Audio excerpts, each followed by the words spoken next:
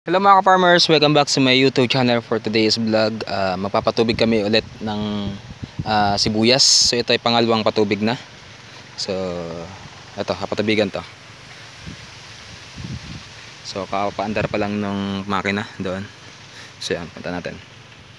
So ayan pa lang yung ano, tubig.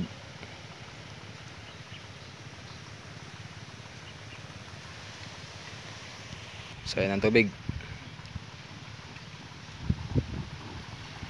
Ayun.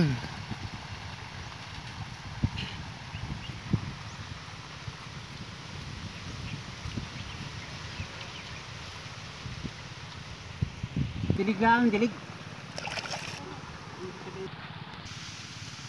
Ayan. Alalay lang ang tubig.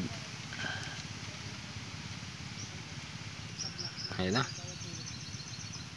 So dadalo niya sa sibuyasan. Ayan na. Makakatikim na ng tubig ang sibuyas.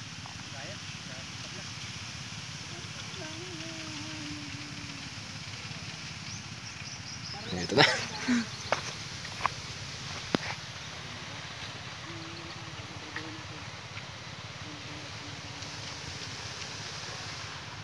So papatubigan lahat yan. 14 lata.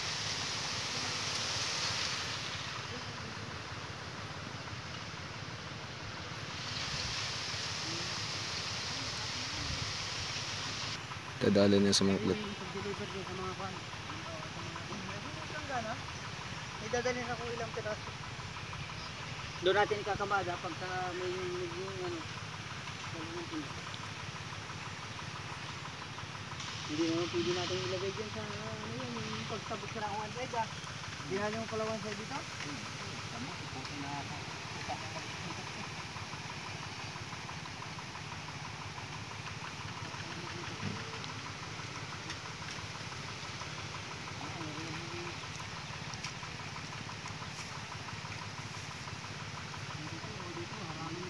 Harangan para ano.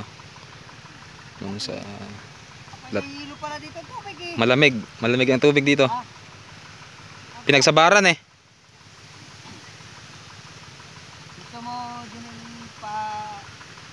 Ha? Daming. So, may purpose ang dami niyan pang sara.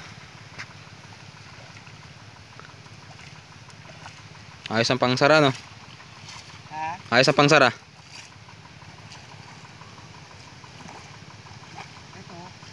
Daloy na siya oh.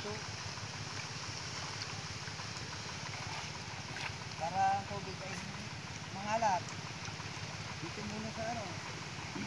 Sa taas mo na no? Papaawasin. Nakikitiri ka sa